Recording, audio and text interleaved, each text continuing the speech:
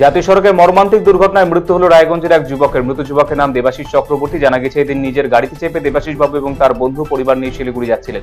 ভোরে ডালখোলা সুজাপুর টোল প্লাজার পাশে একটি চায়ের দোকানে গাড়ি দান করে চা খাচ্ছিলেন। সেই সময় ডালখোলা অভিমুখী একটি ছোট লরি নিয়ন্ত্রণ হারিয়ে ডিভাইডারে থাকা ল্যাম্প পোস্টে ধাক্কা মারে।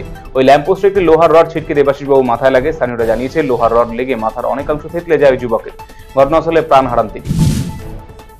চার দফা দাবিতে রায়গঞ্জে সর্বলে তৃণমূল কংগ্রেসের প্রাথমিক শিক্ষক সংগঠন বুধবার রায়গঞ্জে কর্ণজোরে অবস্থিত জেলা বিদ্যালয় পরিদর্শকের দপ্তরে ডেপুটেশন প্রদান করা হয়। কর্মসূচিতে নেতৃত্ব দিয়েছিলেন পশ্চিমবঙ্গ তৃণমূল প্রাথমিক শিক্ষক সমিতি, উত্তর দিনাজপুর জেলা সভাপতি গৌরাঙ্গ চৌহান।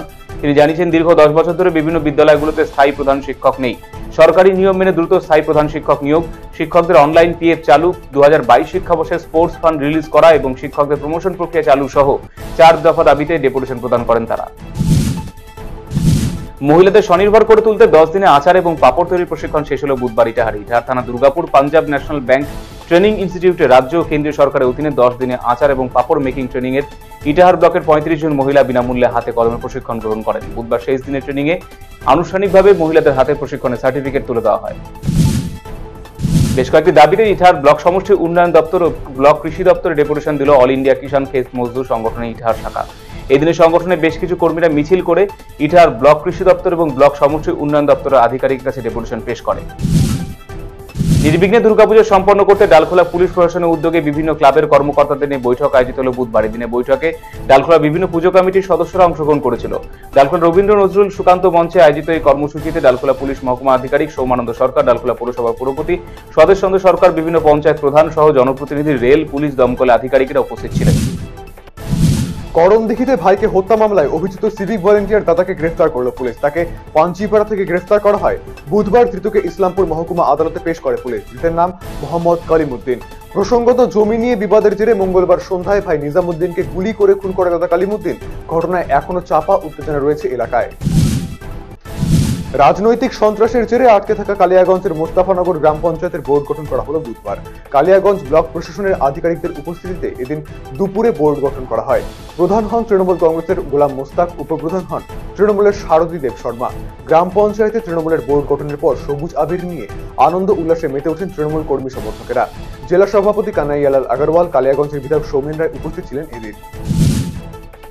সরকারি উদ্যোগে অনুষ্ঠিত হলো আঙ্গিক ভিত্তিক লোকশিল্পীদের কর্মশালা। রায়গঞ্জের কর্ণজোড়ায় অবস্থিত জেলা তথ্য ও সংস্কৃতি দপ্তরে এই আয়োজন করা হয় বুধবার।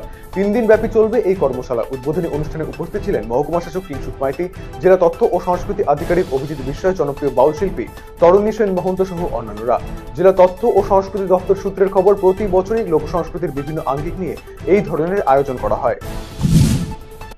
গলা কেটে যুবক খুনের ঘটনায় ধৃত স্ত্রী এবং এক যুবককে বুধবার ইসলামপুর মহকুমা আদালতে পেশ করল পুলিশ। ঘটনায় অভিযোগের আঙুল উঠেছে তার স্ত্রী দীপ্তি তরফদারের বিরুদ্ধে। পরকীয়া সম্পর্কে জেরেই খুন বলে প্রাথমিক তদন্ত অনুমান পুলিশের। এরপরে মৃতের স্ত্রী, তার এক পরিচিত যুবক চোপড়া দাসপাড়ার বাসিন্দা জাবেদ আক্তারকে গ্রেপ্তার করে ইসলামপুর থানা পুলিশ। এদিন তাদের ইসলামপুর মহকুমা আদালতে পেশ করা হয়। ধৃত দুজনকে দশ দিনে পুলিশি হেফাজতের নির্দেশ দিয়েছেন বিচারক।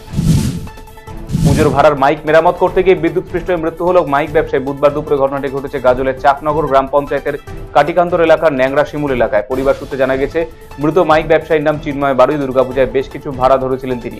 ভাড়া দেওয়ার মাইক এবং সরঞ্জামগুলো পরীক্ষা করে দেখার সময় হঠাৎ বিদ্যুৎ স্পৃষ্ট হয়ে গুরুতর অসুস্থ হয়ে পড়েন তিনি। তড়িঘড়ি গাজল গ্রামীণ হাসপাতাল নিয়ে আসা হলে তাকে মৃত বলে ঘোষণা করে কর্তব্য চিকিৎসকেরা।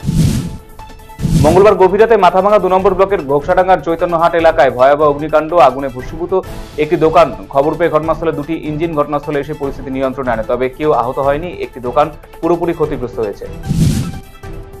মাথাভাঙা এক নম্বর ব্লকের পচাগড় গ্রাম পঞ্চায়েতের দক্ষিণ পচাগড় এলাকায় ধরলা নদীর তীরে জঙ্গলে তিনটি ব্যাগ ভর্তি বোমা উদ্ধার করল মাথাভাঙ্গা থানা পুলিশ। এই দিন তিনটি ব্যাগে আঠারোটি বোমা উদ্ধারের ঘটনা চাঞ্চল্য ছড়িয়ে পড়ে এলাকায়। ঘটনা তদন্ত শুরু করেছে মাথাভাঙ্গা থানা police. Jalpaiguri Dishari nursing training institute কাণ্ডে ফেরার শান্তনু শর্মা এবং তার স্ত্রীর গ্রেফতারের দাবিতে এবার রাজ্যের মুখ্যমন্ত্রী দ্বারস্থ হল প্রতারিত ইনস্টিটিউটের ছাত্রীরা। বুধবার মুখ্যমন্ত্রীকে ডাক মারফত চিঠি পাঠানোর পাশাপাশি জলপাইগুড়ি জেলা পরিষদের সভাধিপতি, জেলা পুলিশ সুপার, জেলা শাসক এবং জেলা তৃণমূলের সভাপতিকেও চিঠি দিয়ে বিষয়টি জানিয়েছে তারা। এরপর তারা শহরে দর্জিপাড়া এলাকায় থাকা শান্তনু শর্মার ফ্ল্যাটের সামনে গিয়ে বিক্ষোভ দেখায়।